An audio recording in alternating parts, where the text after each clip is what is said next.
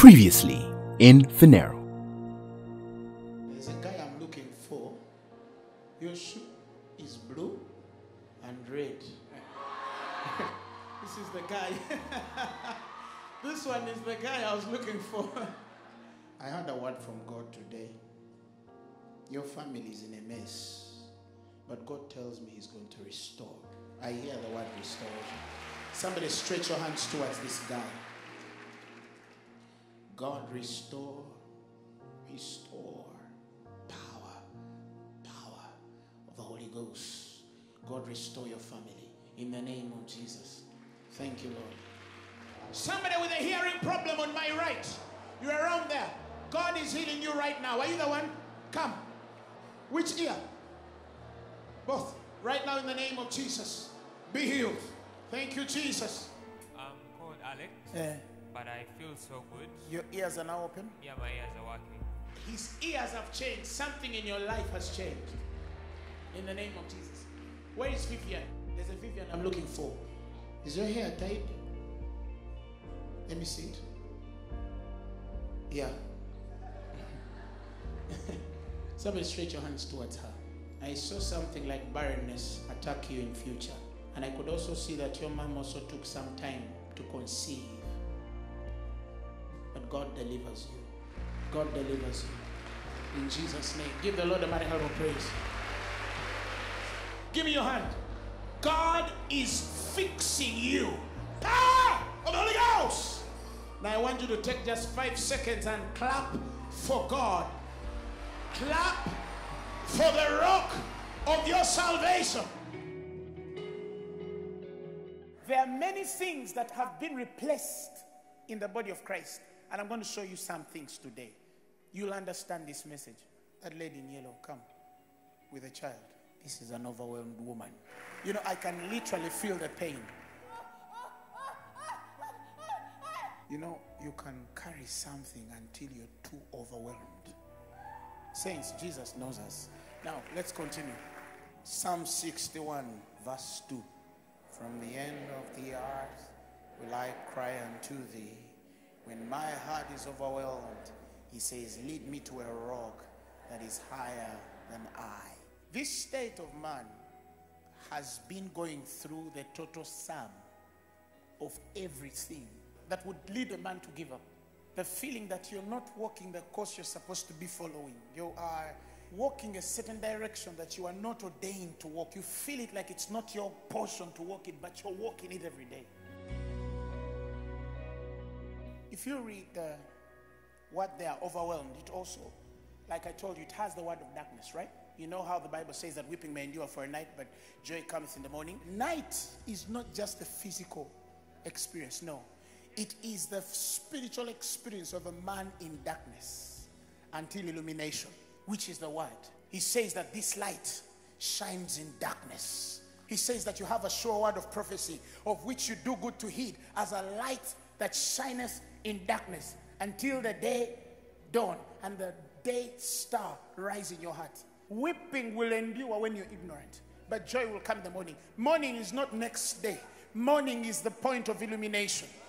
The moment illumination hits your soul, your day has begun. Some of you right now, it is morning. The Lord showed me a secret many years ago, and it changed my ministry. The grace message shows the right way to walk out of sin and anything else that is not of God. The Bible has told us that by the law, no flesh shall be justified. For by the law is the knowledge of sin. In another scripture in Corinthians, it says, The strength of sin is the law. We know that the moment we put the law on that altar, sin is going to be strengthened. So every time we preach grace, we are fighting sin because Romans is very clear. Sin shall not have dominion over you, for ye are not under the law, but under grace. The ministry of death was written on stone, the ministry of life was written on the spirit. In Corinthians, when he speaks of the law, he says that the ministry of death, which was written on the tablets of stone. So the law also was on a kind of rock, it was written, but the rock of the law is different from the rock of your salvation, which is Jesus. The Spirit of God bears the inscription of the ministry of life. Grace and Spirit are one entity. Grace is an inscription on the person of the Holy Spirit. That is why in Galatians it says, You foolish Galatians, who bewitched you? For howbeit you began in the Spirit, and now you seek to be perfected in the flesh. He substituted grace for spirit. They, they began in grace. Grace, spirit, they are one. Grace is inscribed in the spirit. Every time you sin and you go back to the law, you're going to a lower rank. That is why, if you are a child of God, examine yourself whether you be in the faith. Always keep an examination to make sure that you're never deceived into the law again. The Bible tells us that no man born by a woman was as anointed as John the Baptist. He says, Verily I say unto you, among them that are born of women, there has not risen any greater than John the Baptist. None.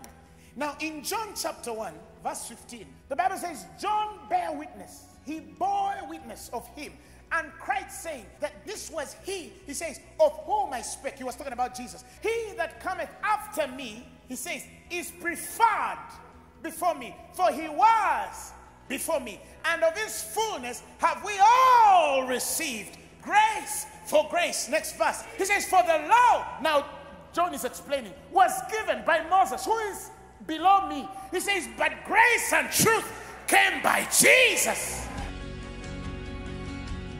When you're a man of the Spirit, you overflow. You remember when Paul is finishing his last ministry? He says, Now I'm ready to be offered up, and my time of departure is at hand. The place of offered up is like I'm overflowing. And under that, everybody under him. That's what he says in Philippians. For whether in the bonds or in the defense, the confirmation of the gospel, he says, Ye are all partakers. That means there was something on, on Paul that used to pour into the people below him, that they would confirm the gospel because they partook of the grace operating on his life. Many of you read Psalms 45. My heart is inditing a good matter. He says, My heart is inditing a good matter. Hallelujah. He says, I speak of the things which I have made touching the key. He says, And my tongue is the pen of a ready writer. The next verse says, art fairer, you the preacher, than the children of men. He says, Grace is poured into thy lips. Therefore, God has blessed thee forever. Why? Because grace is poured on your lips. The moment God puts the message of grace on your spirit, your ministry will change, your family will change, your meditations will change, your education will change. Why? Because your tongue is a pen of a ready writer. Your lips are flowing with grace. And what does God do? He blesses you forever. There's a difference between high and above. Now, the Bible says you're seated far above all principality and power and might and dominion and every name that is named, not only in this world. Now, there's something there, but also in the world to come. That means in, in 2020, if there is a name that is going to come, you're above it. He says, Your obedience has come abroad, O men. He says, And now I would rather have you wise and to that which is good and very simple concerning evil. You have no business with the devil. You're seated above, above all principalities and powers. I'm a new creature in Christ Jesus. The old is past and now the new. Don't take me to